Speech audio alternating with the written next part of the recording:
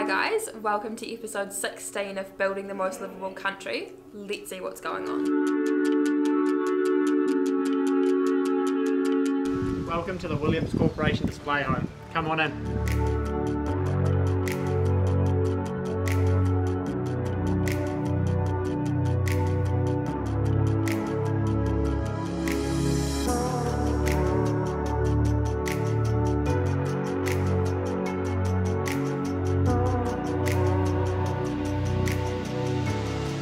Here's some of the stuff that comes standard with all of our homes. 5 kilowatt Fujitsu heat pump. Blackout blinds, so it's nice and private. Wash basin with a drain at the bottom. And we've got lots of double plug power points. What we do as well, we put the water cylinder outside so we've got room for a beautiful towel cabinet. And light dimmers right by your bedside. And also an outdoor shed.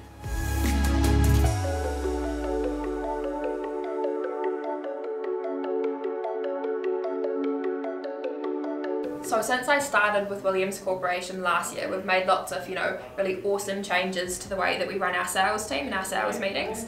So in this week's sales meeting, we ran through a bunch of different things. We started off with the stock game, which is really, really fun. Um, Matt quizzes us on all the different stock that we have available in Christchurch and Auckland. Um, there are no prizes, there should be prizes, but there's not. The second thing we do is a contract role play. So we sit here as a team, go through scenarios that might come up um, when you are signing a contract. Contract, say you need something added to it or you don't understand the clauses. We make sure our team is really, really onto it with stuff like that. Next thing we do is a Zendesk review. And so Zendesk is the database administration that we use, or the CRM. Um, that's what I'm in charge of. I make sure it's all looking nice, the pipeline's always full, that kind of thing. So we went through a few different things like workload, auto tasks, um, and conditional contracts. Workload is massive this month. I think everyone has about 220 deals each in the pipeline, which is huge. The next thing we did is Cardone training, and that's something we talk about heaps. We all do this thing called um, Grant Cardone University. It's a really, really awesome American university by GC himself. He's really cool. We've got an awesome support crew over there. We call them up every Tuesday morning at about 9.30 and we sit there and we talk through the problems that we're having in the week.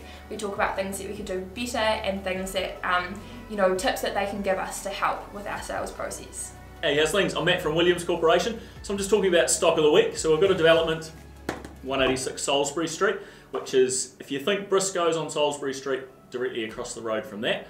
Uh, good location if you want to be close to town. Bad location if your partner likes shopping at Briscoe's. Um, it's a block of five freestanding townhouses. So the two two-bedroom ones are sold. There's one two-bedroom townhouse still for sale. It's right in the middle of the block. It faces north. Uh, brilliant property if you're looking for something right in the middle of town. Guys, how you all going? I thought today I would do an interesting thing that's happened this week in Williams Corporation. So hopefully you can see my screen behind me. On Wednesday night we had a very interesting activation on one of our site cameras, which was this nice young gentleman who you can't really see covering up our site camera and stealing it. Um, because you sort of see his arms, um, he thought he needed it more than we did. But what was really interesting is two days later this occurred where he actually turned the camera back on in his own living room and he started filming. Um, and I've got about 10 minutes of footage and you'll see the nice guy stick his big ugly mug in the camera in a second. Um, it's pretty funny to watch, we don't have time, but if you do know who this guy is, um, maybe let me know. But that is an interesting thing that happened. Um, they stole our site camera and then were stupid enough to turn it on in their own living room. Um, so the police don't have that footage, and if you know who that is, just feel free to reach out.